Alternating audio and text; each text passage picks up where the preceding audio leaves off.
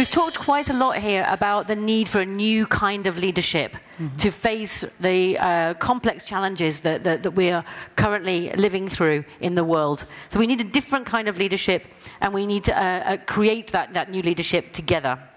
Um, that can only be achieved if we are able to recognize, understand, and lift the barriers to everybody's full participation.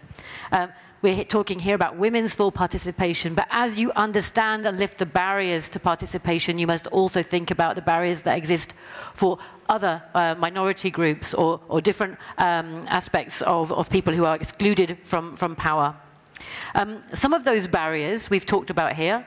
We've talked about the barrier of um, unpaid care work and the lack of time often that, that women have. Um, we've talked about the historic power imbalance, so the absence of, or, of access to some spaces um, that is only just beginning to shift. We've talked also about the violence, um, the active violence and misogyny that women face as they seek to raise their, their voices. We need female role models, and we also need male role models um, and sponsors who are willing to stick their necks out and take action uh, to really challenge the current uh, the gender balance in decision making. And we've heard some really great examples of that here. And we've also talked a bit about, quite a lot about power and what it means, and a, an idea of transforming and reimagining power, not as a pyramid of oppression, but actually as something that everybody can participate in to create a better world and a better landscape. Um, we, in the women's movement, we talk about, we don't talk about power over, we talk about power within, power to, with, together with others and power to shift things. Mm -hmm. It's a much more collective solidarity idea of, of power.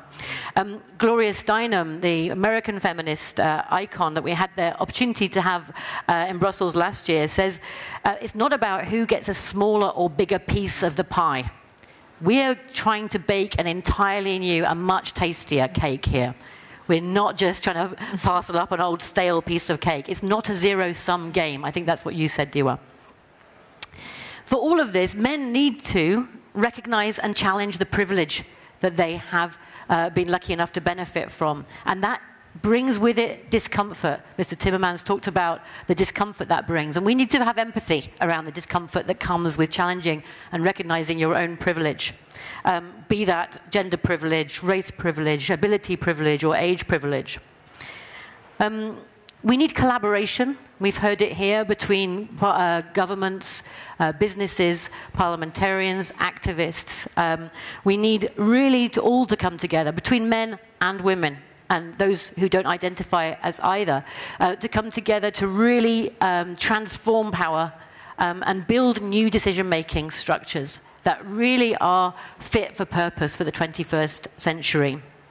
Uh, we We've talked a lot about quotas as a measure to at least temporarily shift uh, the dial, um, make sure that women are in every single space and, and participating in bringing and valuing the issues that women bring forward, which are sometimes different, uh, but need to be valued and not treated as second-class issues.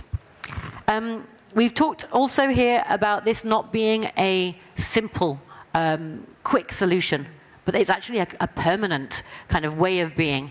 Building diverse um, and equal and fairer decision-making bodies is constant work. It constantly needs to be challenged and measured and, and driven forward. How are we really um, going beyond the numbers to inclusive feminist uh, leadership and balance? Um, we also need to learn from each other, and I think there are really great experiences here from different, very different parts of the world that we can really take inspiration from and, and learn from. Um, and finally, we need to ensure that women's, uh, women's movement and the sisterhood and solidarity that comes with it is, is, is strengthened, is invested in, and is connected globally. Because there we can also find strength uh, in our different, in our different struggles and battles.